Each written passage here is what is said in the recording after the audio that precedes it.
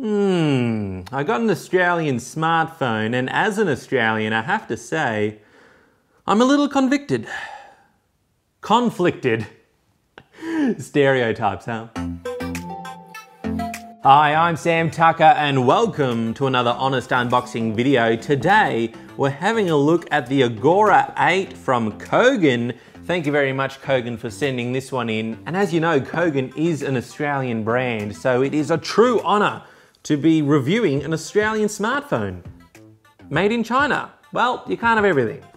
Oh yes, crikey, there it is. Oh, the Agora 8. And of course you get chargers and some headphones, but um, why is there no boomerang in the box? Now keep in mind guys, this is a budget phone, so you won't be getting all the features that you get on the iPhone 10 times the price. So you will get a headphone jack, and yes, you will get a fingerprint scanner. All right, have an FM radio, but it will actually be 24 grams lighter, I'm sorry. Speaking of which, if you don't want that uh, additional storage, the SD card uh, spot can actually be used for a second SIM card, although it is only 2G for that second SIM card. You got 4G on the main one, 2G on the second one, which is getting phased out in Australia, so not even Kogan mobile network will support it soon, but it is the thought that counts. Now I have to say, just on initial impressions, it does feel quite good. You know, you got metal on the back. It doesn't feel like a budget phone, so uh, so far so good. And there's the screen, which actually looks really good for a budget phone. Nice and vibrant, and I even hear that Game of Thrones looks a bit better on this phone because it's uh, it's made of dragon glass. Yeah. Though for the purposes of this video, we will settle for a game of chins. Not bad. All right, enough of these fun and games. Let's play some games. Aussie Wheels Highway Racer. How perfect. This should be mandatory on all Australian phones. All right, this is a 3D racing game, so it should be really taxing on the system. Just as well, this one includes GST. Hello, Aussie craftsmanship. One, please. Oh, look out, buddy. Ah, ah, yes. Success. No, the frame rate isn't 100%, but it's very much playable. Ah, especially when I'm driving. Ah, taxi. Yeah, not bad. Played the game all right, perfectly serviceable. Not smooth like butter, but maybe smooth like fridge butter. Um, only criticism is that uh, the cars drove on the right and the left. All right, shush, camera time. Here we go. Let's start off with the back-facing camera.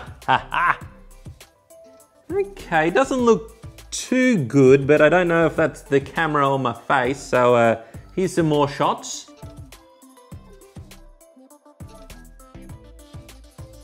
Now let's try the front facer. And this is the front facing camera. Let's see how it handles motion. Action Jackson. Um, probably wouldn't use it as my vlogging camera, but you should probably use a normal camera anyway. Let's check out the rear now. Okay, and this is the rear camera. A little bit yellower than I thought. Don't know, maybe that's software. Maybe it's applying a Simpsons filter. Okay, so the camera could be a little bit better, and that's really the first budgety thing I've felt with this phone. Otherwise, it really, really isn't too bad. I think it's ready to uh, go out and explore the world. Come with me. I come from a land down under, where phones cost over a thunder. But now, it's time to put another silicon chip on the Barbie. No, it's not time for a shrimp, not even a sausage. It's time for an Agora 8. Smack your lips on this mouthpiece because you get more bang for your buck in the bush. You can't get reception in the bush. The Agora 8. It's the reason kangaroos have pouches. And when it's time to upgrade to the Agora 9, you can recycle your Agora 8 into Vegemite. Okay guys, final thoughts with the Agora 8. I have to say, I am quite pleasantly surprised. I expected this really to be total crap because I've been an iPhone user for ages and I just assume phones have to cost millions upon millions of dollars. And yes, I did recently switch to a BlackBerry, that's a whole nother thing. The build quality feels good, the screen looks nice, games play fine. The only thing that does sort of detract it where you feel the budgetiness of it is the camera, so do be aware of that. But hey, that's what Instagram effects were invented for. Check it out, the Agora 8, link in the description and apparently right on the home screen, so that's handy. Until next time, this is Sam Tucker saying, stay funky everyone. Sam Time, signing off. Subscribe today.